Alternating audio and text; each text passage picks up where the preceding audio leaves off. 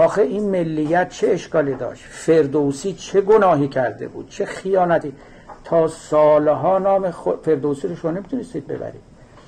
ولی اینا شد دیگه. ببینید با کمال حیرت همه ما نگاه می‌کردیم که گویی هر چه سنت این کشور بود باید ریشه کن بشه.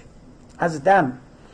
اگه روشون می‌شد زبون ما هم عربی می‌کردن. عید نوروز رو باش مخالفت کردن. همین آقای خزعلی مرحوم گفت به جاش عید قدیر رو بگذاریم. این فقهای ما نه تاریخ اسلام می‌دونن من اینا رو واقعا به شما میگم. نه تاریخ ایران می‌دونن نه فلسفه می‌دونن نه تفسیر قرآن می‌دونن نه علم اخلاق فقط فقه خوندن. یک فقه قبار گرفته استخوانی شده بدوی کهن که با او فقط میشه آدم کشت فقط میشه تبعیض آورد فقط میشه به مردم زور گفت.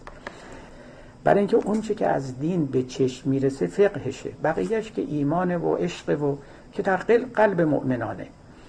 این فقهی که جز بر تبعیض بنا نشده و بعد از انقلاب هم یک تبعیض هم بهش اضافه شد. تبعیض بین زن و مرد تبعیض بین کافر و مؤمن تبعیض بین بنده و ارباب تبعیض بین انقلابی و ضد انقلاب. این هم اضافه شد. من یادمه که اون اواخر که یه عده علیه بعضی از مسلمون ها بعضی از مؤمنین چیز می نوشتن یک شوی نامه به من نوشته بود که چرا شما فلان استاد رو سر کار نگه داشتید؟ این مسلمان شریعت مداریه.